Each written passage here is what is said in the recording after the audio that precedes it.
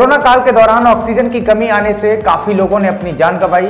लोगों की जान जाते देख समाज सेवियों ने मिलकर एक मिशन बनाया। टीम मिशन मानवता के नाम से, जिसके तहत ऑक्सीजन की कमी दूर करने को लेकर, वह लोगों की जान बचाने को लेकर टीम मिशन मानवता बनाया गया है, जिसके तहत काफ़ी लोगों ने बढ़ चढ़कर इसमें अपना सहयोग किया है।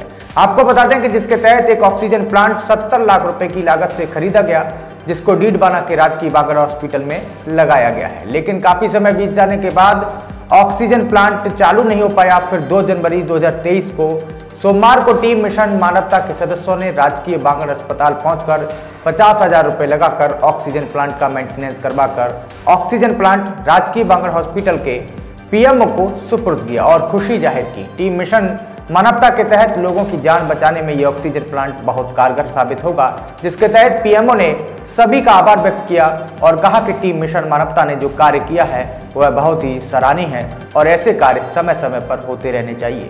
ये बहुत ही अच्छा कार्य किया है मिशन मानवता वालों ने मिलके जिसमें लगभग सत्तर लाख रुपए खर्च करके ऑक्सीजन ये प्लांट लगाया है। तो काफ़ी समय से हम इंतज़ार कर रहे थे कि इनको हमें हैंड ओवर करें तो आज ये सर्विस करवा के हमें हैंड ओवर कर रहे हैं। इस प्लांट को पीएमओ डीडवाना को सुपुर्द करने के लिए एकत्रित हुए हैं।